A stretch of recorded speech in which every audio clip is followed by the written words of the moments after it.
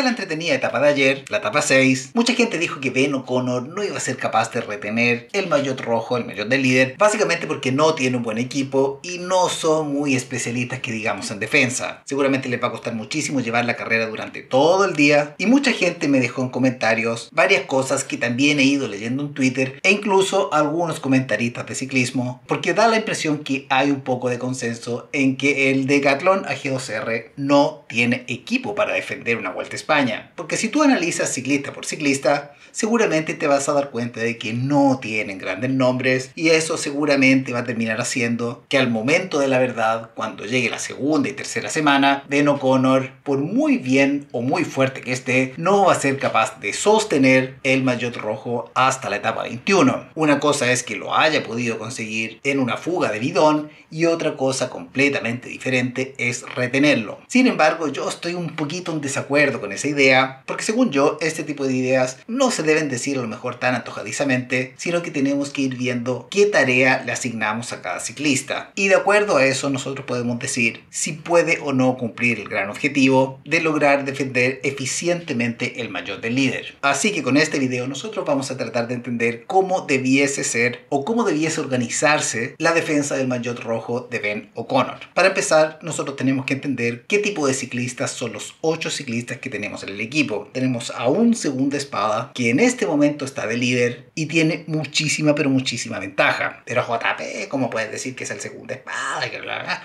Mira, el gran escalador del equipo es Félix Gall. Y tú en este momento no tienes que pensar esta dupla como un líder tradicional, como estas batallas que se tenían antiguamente en el ciclismo antiguo, esa de que yo soy el líder, yo soy el líder. No, la cosa no funciona así, nunca ha funcionado así. Y cada vez que la gente lo piensa así es porque lo está pensando mal. Y si resurgen ese tipo de discusiones dentro del equipo, no van a terminar llegando a ninguna parte. Y en vez de pensar en una batalla de yo soy el líder, yo soy el líder, tú tienes que pensar más o menos en cómo funcionó el Movistar en el año 2019. Ellos tenían un jefe de filas que era Mikel Landa y un segundo espada que era Richard Carapaz. En este caso es más o menos lo mismo, porque con un ataque lejano de Richard Carapaz, Mikel Landa le dijo vayan a buscarlo y gasten sus energías. ¿Qué hizo la gente? No lo fue a buscar y se les terminó yendo, yendo, yendo cada vez más lejos del Richard Carapaz y se terminó vistiendo finalmente de líder. Y el hecho de que en esa época el Richard Carapaz estuviese vestido con la malla rosa no quiere decir que sea el líder del equipo. No sé si me explico. Richard Carapaz siempre fue el segunda espada y gracias a su posición de segunda espada y que el gran jefe de filas le estaba cubriendo las espaldas, terminó ganando el Giro de Italia. Lo mismo pasó con Sepp no sé si ustedes se lo recuerdan del año pasado, que terminó vistiéndose también de líder de la Vuelta a España. Sin embargo, si a esa vuelta no hubiese ido ni Roglic ni Vingegaard, otra historia hubiese sido, porque lo hubiesen tenido que defender gregarios y no ciclistas tan importantes como Roglic Vingegaard. De esta manera, cualquier ciclista que quisiera quitarle tiempo al Septius, cualquier ciclista que osara atacar al Septius, iba a ser defendido en primera persona, o por el Vingegaard de modo Dios, o por el Roglic en modo Dios. De esta manera los ciclistas tuvieron un ataque de miedo y sentían sencillamente terror de atacar al Septius porque básicamente lo defendían ciclistas que eran mucho mejores que él. ¿Cómo lo hacemos entonces? Se preguntaban. ¿Cómo podemos descontarle tiempo a un Septius si por detrás te está defendiendo un ciclista que es mucho mejor que él? Bueno, en este caso nosotros tenemos que entender que debajo de Ben O'Connor viene el verdadero jefe de filas, que es Félix Gall. Y a Félix Gall no lo van a dejar tan fácilmente porque está defendiéndole todo el tiempo las espaldas. Félix Gall sigue siendo el jefe de filas y en este caso el Ben O'Connor es una especie de Richard Carapaz 2019 y es seguramente a lo mejor un poco más importante que el Septius 2023. Pero para que entiendas más o menos la proporción es parecido, parecido, no es igual, sino que parecido. ¿Se parece más la situación al 2019 que la del 2023? Sí, se parece. Porque en ese tiempo, en el 2019, el Richard Capaz tenía solo un defensa, igual que ahora pero en el 2023 tenía a los dos jefes de filas defendiéndolo por detrás. Ellos plantearon un muro que era impenetrable y finalmente lo terminó consiguiendo el Septius. Y cada vez que intentaban atravesar ese muro, tenían a un Vingard o un Roglic en modo Dios que lo terminaba defendiendo y ¡pum! Iban por lana, salían trasquilados. Y esto es básicamente porque si tú tienes una defensa ordenada, si tú sabes más o menos trabajar la parte defensiva, tienes muy pero muy avanzada la clasificación general. Ahora, llegado a este punto, me toca recordarte nuevamente que es súper importante que dejes tu comentario, que dejes tu like porque tenemos que ganarle al algoritmo. Y no te lo digo solo por hoy, sino que el 12 de noviembre recién se me va a acabar el castigo. Así que te voy a tener que pedir nuevamente que al igual que ayer me dejes tu like y un comentario hablando de lo que sea. Lo importante aquí es ganar al algoritmo. Ahora, seguimos con la estrategia. Entonces tenemos a un jefe de filas que es Felix Gal que está defendiendo por detrás y tenemos en cabeza a un Ben O'Connor que realmente hoy no tuvo problemas en defender una zona que perfectamente podría haber sido muy complicada. No hubo un forcing demasiado duro, no, pero nunca tampoco se le dio siquiera una mala cara, nunca siquiera lo pusieron en problemas. Esto quiere decir que este tipo viene fuerte y que la etapa no fue tan dura como para que pague los esfuerzos de ayer, así que de momento la consolidación del Mayotte va bien. Ahora, ¿cómo se organiza el resto del equipo? Tenemos a dos líderes, que son Ben O'Connor y Felix Gall, y un poquito más atrás, nosotros tenemos un ciclista que debiese ser muy, pero muy importante, que es Clement Bertet. Clement Bertet es muy, pero muy bueno subiendo, y su presencia debiese ser súper importante al momento de ir cerrando todo tipo de huecos que sean obviamente peligrosos para la clasificación general. Por ejemplo, si son ciclistas importantes que perfectamente pueden hacer algún tipo de daño, como por ejemplo un Adam Yates, para eso se necesita un Clement Bertet, porque es un tipo que perfectamente puede hacer ese trabajo y perfectamente está capacitado para hacer ese trabajo. Pero no solo Clement Bertet es súper importante como un gregario de montaña, como un gregario de grupo, sino que antes que él tenemos también a un tipo de experiencia. Geoffrey Bouchard es un ciclista que ya ha sido mayor de la montaña, tanto en la Vuelta a España como en el Giro de Italia. Geoffrey Bouchard debería ser un tipo que aporte experiencia y es un tipo que va a tener que olvidarse un poco de la lucha personal por la montaña y dedicarse a defender. Este tipo ahora va a defender en montaña y va a tener que trabajar seguramente mano a mano con Clement Bertet. Pero ¿qué tan bueno podría llegar a ser un Geoffrey Bouchard? Bueno, básicamente como cualquier ciclista que termina llevándose un maillot de montaña. Piensa tú en un Giro Chicone, a lo mejor un tipo como más o menos de ese perfil, que básicamente todo el tiempo está atacando y todos los días y va recogiendo todos los puntos de montaña que vayan por el camino. Ese es más o menos el trabajo que pudiese llegar a tener un tipo que termina conquistando la montaña. Ahora tenemos que decir otra cosa, que lo haya conseguido una vez no quiere decir que lo consiga siempre. Sin embargo, si tú le sacas un poco de responsabilidad y le dices que no es necesario que conquiste la montaña, sino que vamos a tener otro trabajo que es controlar los ataques de los rivales, seguramente podría ser el perfecto ayudante de Clement Bertet. Un poquito más atrás de estos cuatro escaladores, nosotros debiésemos tener a un ciclista que es muy importante, que es Bruno Hermirael. Bruno Hermirael es un rodador, es un contra relojista es un pasista y que realmente se desarrolla relativamente bien como un todoterreno. Tener un pasista de montaña es muy pero muy importante y el Decathlon AGOCR lo tiene. Pero JP, el Bruno Admiral no va a ser capaz de responder bien en montaña. Como que no, ¿acaso no lo viste el año pasado en el Giro de Italia? Recién en la tercera semana, en las últimas etapas, con los ataques de los ciclistas más importantes de la general, como Almeida, Geraint Thomas o Primos Roglic, recién ahí lograron descontarle un poco de tiempo. Este tipo sabe y las montañas de Italia sí que son duras. Y si no fueron capaces de quitarle el maillot de líder hasta prácticamente cuando se acababa el Giro de Italia, es porque este tipo tuvo que haber pasado un montón de montañas en las que prácticamente no le pudieron descontar tiempo. Así que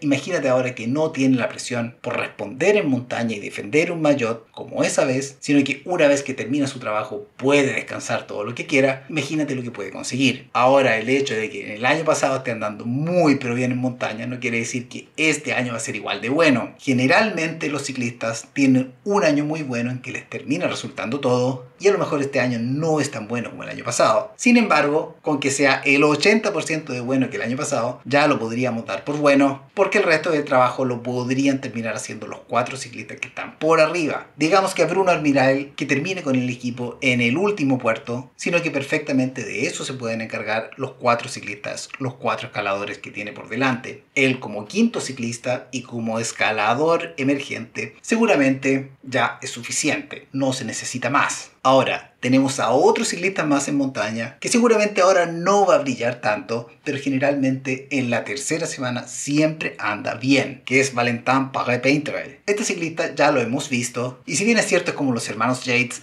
no sé bien todavía cuál es cuál, cuál es Valentin y cuál es Aurelian, porque los dos son bastante parecidos. Si llegase a aparecer como ha aparecido otras veces, con eso es suficiente. Recordemos que los ciclistas jóvenes todavía son súper irregulares y a todos estos ciclistas seguramente les vamos a quitar toda la presión por ganar y todos y cada uno de ellos tienen un trabajo asignado, aguantar. Y esto es porque básicamente mientras Ben O'Connor aguante el rojo, ellos tienen una tarea súper concreta que cumplir. Entonces el equipo más o menos queda así. Tenemos como jefe de filas a Felix Gall, como segunda espada, pero va vestido de rojo, el Ben O'Connor. Un poquito más atrás tenemos a Clement Bertet con Geoffrey Bouchard. Un puntito más atrás tenemos a Bruno Almirail y Valentin Parrapentre, que estos perfectamente se pueden ir cambiando, depende del día. Si uno se siente mejor, lo dejamos para el final. Y si uno se siente más o menos nomás, se le puede dar incluso el día libre o hacer que reduzca sus tareas que no trabaje tanto, que trabaje lo que pueda. Y ahora, los dos últimos ciclistas, los ciclistas base, los ciclistas que deberían hacer los grandes trabajos y trabajar más o menos en bruto, debiesen ser Víctor Lafay y Sander de Pestel. Sander de Pestel es un rodador que tiene un puntito de llegada bastante interesante, sin embargo debiese ser el tipo que le toque controlar todo tipo de fugas y poner un ritmo para controlar que la fuga no se vaya tanto. Y Víctor Lafay es un ciclista que va muy fuerte, que generalmente saca un nivel impresionante ¿eh? Sin embargo, así como aparece y saca un nivel que nadie se lo creería, es como desaparece. ¿Tiene sus días mágicos? Tiene sus días mágicos. ¿Desaparece? Bueno, desaparece. Pero con que saque un día mágico en una situación complicada, este tipo perfectamente te puede terminar arreglando una jornada en la que sencillamente nada salió. Entonces, ahí tenemos los 8 ciclistas del Decathlon que les tocará defender una tarea que muchos piensan que no la va a poder hacer. ¿Cuáles son los puntos fuertes que tiene realmente el Decathlon? Básicamente tiene una estructura muy marcada con dos jefes de filas muy concretos y todo el resto del equipo sabe que tienen tareas asignadas y su trabajo es hacer estas tareas exitosamente o lo más exitosamente que puedan. Este equipo no tiene grandes egos que alimentar y si toca ponerse manos a la obra se ponen a trabajar, pero debiesen enfocarse mayoritariamente o a lo mejor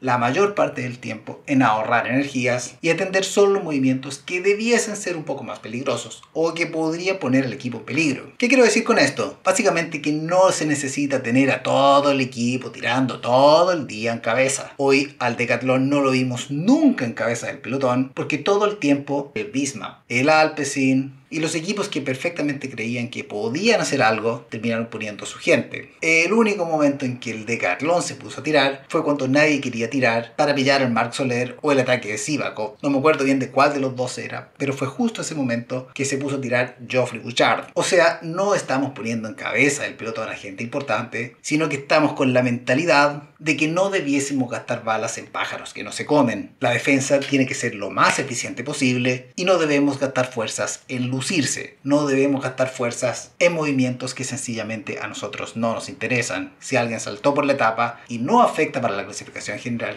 que se vaya, que te importa. Lo realmente importante y lo que nos debiese importar realmente es que el Decathlon tenga energías y tenga gente para defender en los momentos clave. Tenemos un bloque muy interesante y lo ideal es que el equipo defienda en bloque. Y si la cosa se escapa de las manos, recién ahí pensar en que podemos defender con gente que podemos mandarla para adelante. Digamos, ¿qué pasaría si se volviera a formar una fuga multitudinaria y por detrás nadie quiere ayudar al decatlón? Bueno, entraríamos en un pequeño problema. Sin embargo, para eso tenemos a tres ciclistas bien ubicados en la clasificación general y dependiendo de la importancia de los ciclistas que metieron en cabeza de carrera en la fuga, perfectamente podríamos mandar como stopper a Clement Bertet y si se fue alguien muy pero muy importante, podríamos mandar incluso a Félix Gall.